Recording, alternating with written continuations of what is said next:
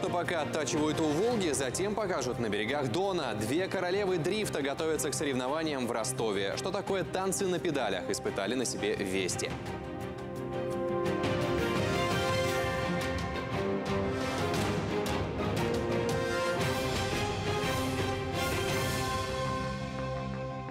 Волгоградские автогонщики серьезно готовятся к заездам в Ростове-на-Дону. Там пройдет финал окружных состязаний по дрифту. Трассу будут покорять участники из Краснодара, Ростова, Сочи, Шахт, Пятигорска и Севастополя.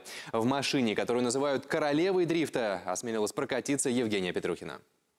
С этой сливой мы практически ровесницы. Ей 29, мне 26. Давайте посмотрим, насколько она скоростная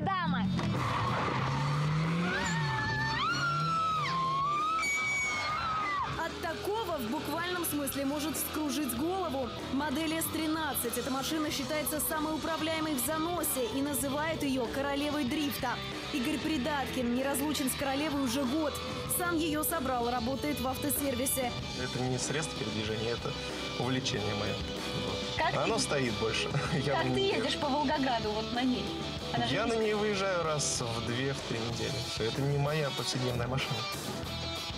А что выбирают дрифтеры для повседневной э, езды? Автомобиль жены. Каждый элемент требует предельной концентрации. На сложных трассах дрифтеры буквально танцуют на педалях. Когда Тигран и Игорь работают в паре, максимальный зазор между машинами не больше 20 сантиметров. Настоящее фигурное катание. Трасс пока нет, зато есть инициативы. Руководитель проекта «Гонка» Ярослав Проскурнов собирается провести первое дрифт-шоу в Волгограде. Есть у организатора турниров мысли и по поводу строительства в Волгограде автотрека. людям будет где потренироваться, посоревноваться, и мы тем самым будем убирать огромное количество вот этих вот стрит-рейсеров с дорог общего пользования. Уже в пятницу ребята отправятся на соревнования в Ростов. В планах на будущий год Самара, Краснодар и Рязань. Евгения Петрухина, Александр Шарашов. Вести Волгоград.